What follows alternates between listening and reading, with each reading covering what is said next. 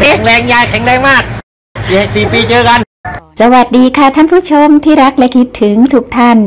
วันนี้ขอพาท่านผู้ชมออกเดินทางท่องเที่ยวไปกับขบวนรถด่วนขบวน 51 ค่ะ จากกรุงเทพไปถึงเชียงใหม่ เราจะนั่งที่นั่งชั้นสามจะได้ถ่ายภาพทิวทัศน์สองข้างทางที่รถไฟวิ่งผ่านกันได้สะดวกค่ะ ซึ่งขบวนรถนี้ก็จะออกจากสถานีอุตรดิตถ์เวลา 6 นาฬิกาค่ะ แล้วก็ไปลงที่สถานีนครลำปางประมาณ9โมง51 นาทีนะคะ เป้าหมายของการเดินทางในครั้งนี้ก็เพื่อที่จะไปชมทัศนียภาพทั้งสองข้างทางค่ะ ต่อจากนั้นก็จะไปชมบริเวณที่จะสร้างสถานีรถไฟทางคู่ เด่นชัยเชียงรายเชียงของ ซึ่งเริ่มตั้งแต่สถานีเด่นชัย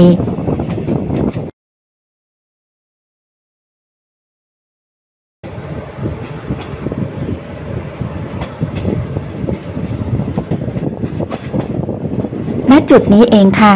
รถไฟก็จะวิ่งผ่านบริเวณที่เราเห็นว่ามีการเตรียมการก่อสร้าง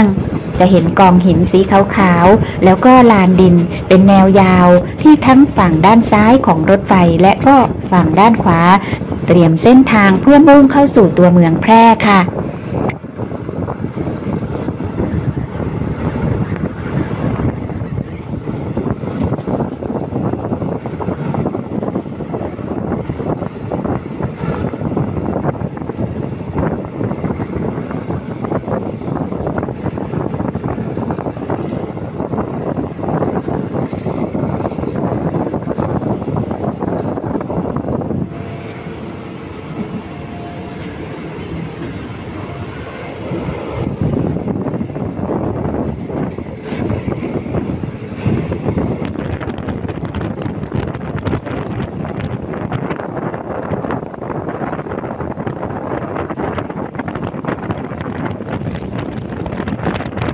พ อพ้นจากบริเวณนี้ ท่านผู้ชมก็จะได้เห็นทิวทัศน์ทุ่งนาสีเขียวๆสวยสุดลูกหูลูกตาเลยนะคะ เช้านี้พระอาทิตย์กำลังส่องแสงค่ะ แล้วก็ส่องแสงตามเราไปตลอดเส้นทางเลยนะคะ ความงามของทัศนียภาพจึงเผยโฉมตั้งแต่เส้นทาง จากสถานีปากตาลค่ะ จะเห็นความงามเรื่อยไปค่ะ ไปจนถึงแก่งหลวง ท่านผู้ชมก็จะได้เพลินไปกับบรรยากาศ ไม่ว่าจะเป็นเส้นทางรถไฟที่วิ่งเรียบโค้งไปตามลำน้ำยมวันที่ออกเดินทางนี้อยู่ในเดือนมีนาคมค่ะ ช่วงนี้น้ำแห้งแล้วนะคะ ก็จะมองเห็นโขดหินเกาะแก่ง และสีของแม่น้ำอันงดงาม ซึ่งสะท้อนมาจากความเขียวของต้นไม้ที่อยู่รอบๆ บางจุดเราก็จะได้ชมเงาของขุนเขาทาบทับมาบนผืนน้ำให้ความงดงามวิจิตรอย่างน่าทึ่งเลยนะคะ ถึงแม้ว่าจะมีม่านแมกไม้บังตาเป็นระยะ ก็ไม่ได้เป็นอุปสรรคลดทอนความงดงามของธรรมชาติ แก่งหิน แม่น้ำแล้วก็ขุนเขาลงไปได้ค่ะตรงกันข้าม กลับจะเพิ่มสีสันความงดงามที่หลากหลายอารมณ์กันเลยทีเดียวนะคะ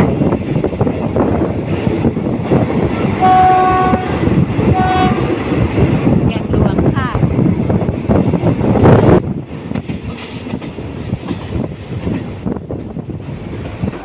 ชมความงามกันแล้วก็จะได้ชม แล้วก็สัมผัสเสียงรถไฟ ขณะที่รถวิ่งบนสะพานเหล็กสีดำก่อนที่จะถึงห้วยแม่ตา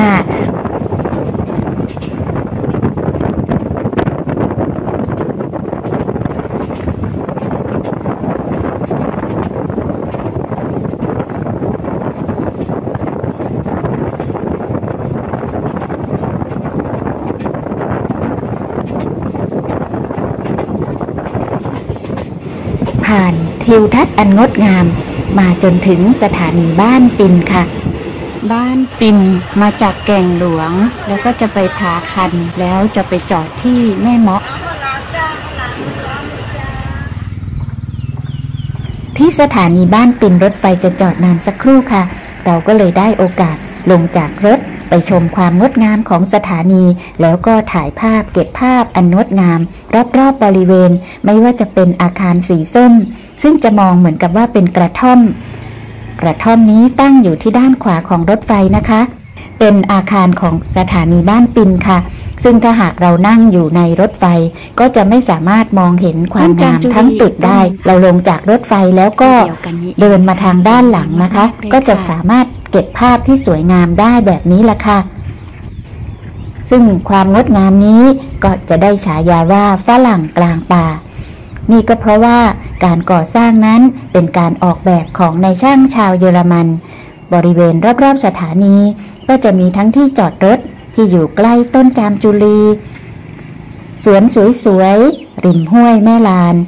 เพิ่มความร่มรื่นเย็นสบายได้ดีทีเดียวรถไฟค่ะบ้านปินอำเภอรองจังหวัดแพร่แล้วค่ะ รีบเก็บภาพมาแล้วก็ขึ้นรถไฟเดินทางต่อ เรื่องราวของสถานีบ้านปินสถานีบ้านจึงนับว่าน่าสนใจ มีทั้งความเก่าแก่ทางประวัติศาสตร์ในสมัยรัชกาลที่ 5 จนถึงความเป็นมาของบ้านปิน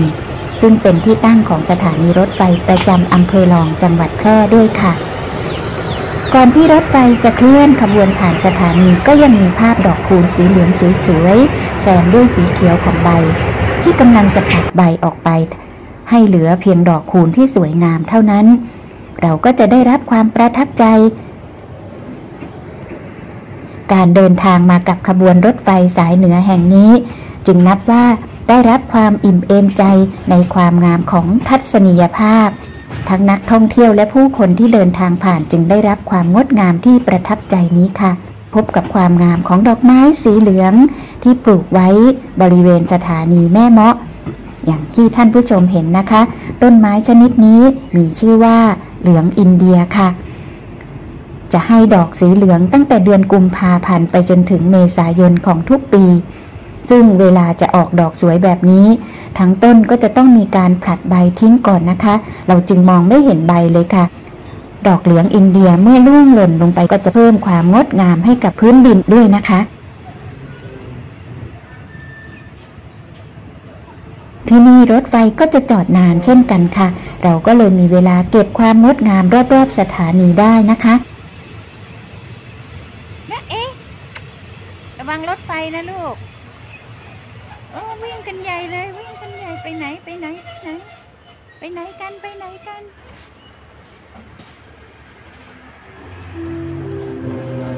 อ้าวมีการหยุดด้วย ที่นี่สถานีแม่เมาะถ้าผู้โดยสารโอ้มารับใครเหรอ สถานีแม่เมาะก่อนลงจากขบวนรถตรวจสอบดูสิ่งของและสัมภาระของอ๋อมารับเจ้านายโอ้น่ารักจังเลยเป็นขบวนรถด่วนเที่ยวขึ้นปลายทางสถานีเชียงใหม่ ตามกำหนดเวลาขบวนรถด่วนเที่ยวขึ้นปลายทางเชียงใหม่จะจอดรอหลีกกับขบวนรถเที่ยวล่องที่สถานีแม่เมาะและออกจากสถานีแม่เมาะ9นาฬิกา 16 นาทีนะครับโปรดทราบขบวนรถด่วนปลายทางเชียงใหม่จอดเทียบชานชลาลังที่ 2 ตามกำหนดเวลาจะออกจากสถานีแม่เมาะ9นาฬิกา 16 นาทีครับ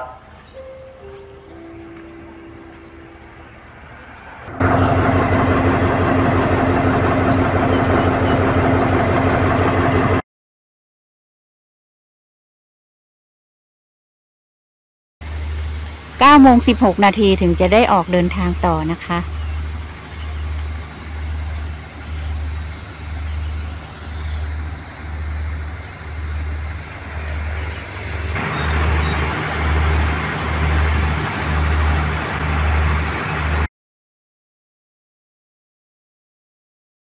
เหลืองอินเดียนี่เหลืองไม่มีใบเลยเหรอคะเออเทียบกับเหลืองดอกคูณแล้วคนละสีกันเลยเนาะ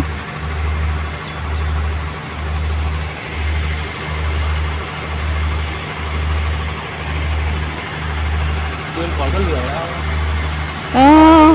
สวยจังเลยค่ะ เห็นข้างทางมาที่เราผ่านมาก็มีเหมือนกันเนาะอ๋อผักคอมั้งอันนี้ผักคออะไรเนี่ยโดยนั้นเราเรียกเป็นการจราจรที่หนึ่งเป็นศูนย์ตรวจศูนย์ห้าหนึ่งจบไว้เป็ก่อนนการสอบวิชาจากสถานีจากกรุงเทพปฏิวัติพานาสานเชียงใหม่ทางในสายหนึ่งเดินทางกับขบวนรถเที่ยวนี้ตัวนำสิ่งของในสำนักงาน ที่จะหาที่ด้านบนขบวนรถให้เรียบร้อยครับขอบคุณครับเมื่อเดินทางมาถึงสถานีนครลำปาง ได้รับความช่วยเหลือเป็นอย่างดีจากเพื่อนที่เคยเรียนพยาบาลด้วยกันค่ะ ช่วยเหลือในการพาไปชมจุดต่างๆ ของการก่อสร้างสถานีรถไฟทางคู่ในจังหวัดลำปางและจังหวัดพะเยาด้วยค่ะ สถานีรถไฟทางคู่เด่นชัยเชียงรายเชียงของ มีระยะทาง 323 กิโลเมตร มี 4 อุโมงค์ค่ะ คืออุโมงค์ที่อำเภอ 2 แห่งที่ 1 ความยาว 1,125 เมตร อุโมงค์ที่ 2 ความยาว 6,375 เมตร อุโมงค์ในจังหวัดพะเยาที่อุโมงค์แม่กา ความยาว 2,825 เมตร และอุโมงค์ที่ 4 อยู่ที่อำเภอดอยหลวง ความยาว 3,600 เมตรค่ะ สถานีรถไฟทางคู่ เด่นชัยเชียงรายเชียงของจำนวน 26 สถานี อยู่ในจังหวัดแพร่ 6 สถานี จังหวัดลำปาง 3 สถานี จังหวัดพะเยา 6 สถานี และจังหวัดเชียงราย 11 สถานีค่ะวันนี้เราจะพาท่านผู้ชมไปชมบางส่วนของการก่อสร้าง ทั้งในจังหวัดลำปาง แพร่และพะเยาค่ะ สถานีที่จังหวัดลำปางนี้จะมีอยู่สามแห่งค่ะ คือสถานีแม่ตีบ สถานีงาว และสถานีปงเตา สถานีแม่ตีบที่ตั้งอยู่ตำบลแม่ตีบนี่คือในจุดอำขอเภงอบ้านงาโควกค่ะหวากเนอะจะเห็นหลักเสาเล็กๆ สีขาวแดง เพื่อแสดงแนวเวรคืนที่ดินกำลังทำที่พักสำหรับคนงานเพื่อที่จะได้ก่อสร้างสถานีรถไฟต่อไปค่ะ เช่นเดียวกับสถานีปงเตา ก็จะพบหลักเขตแนวเวรคืนที่ดินให้เห็นเช่นกันค่ะ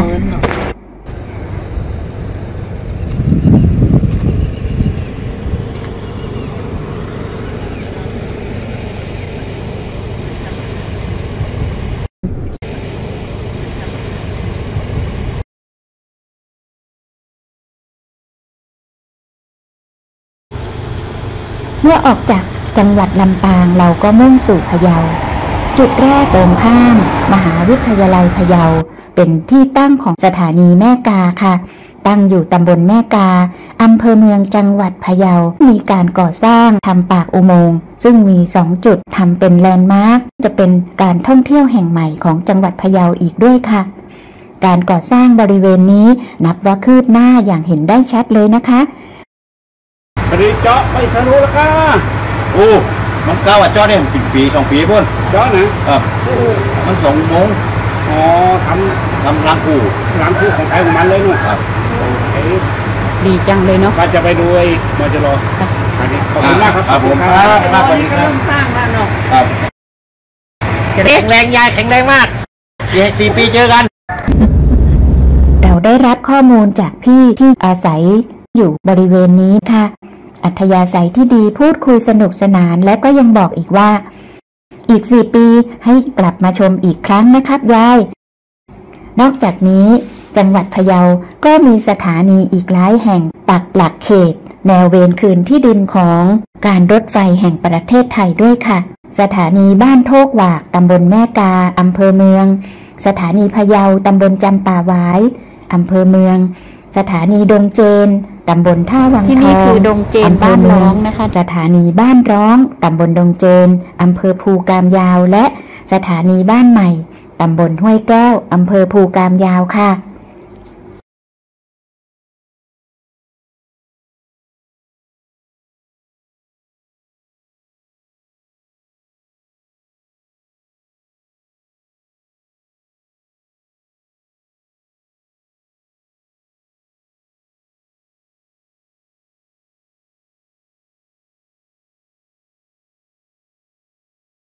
จากจังหวัดพะเยาก็ไปต่อถึงจังหวัดแพร่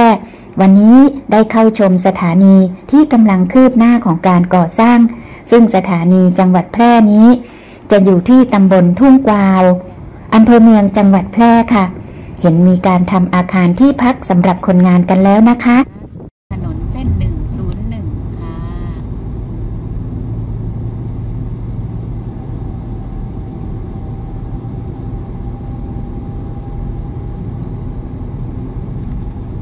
เรียกว่าเกือกม้านะคะ เกือกม้าสำหรับยูเทิร์น สวยงามมากเลยนะคะ ส่วนสถานีแม่คำมี ตำบลแม่คำมี ยังคงมีเพียงแนวเขตที่จะเวนคืนที่ดิน จากแนวถนนไปถึงทุ่งนา ซึ่งเป็นจุดก่อสร้างสถานีค่ะ ขอขอบคุณเพื่อนที่ให้ความช่วยเหลือเป็นอย่างดีได้ให้ที่พักพาชมสถานที่ต่างๆ ของสถานีในจังหวัดลำปางและจังหวัดพะเยา ขอบคุณท่านผู้ชมที่ติดตามชมค่ะ พบกันใหม่ในคลิปหน้าค่ะ สวัสดีค่ะ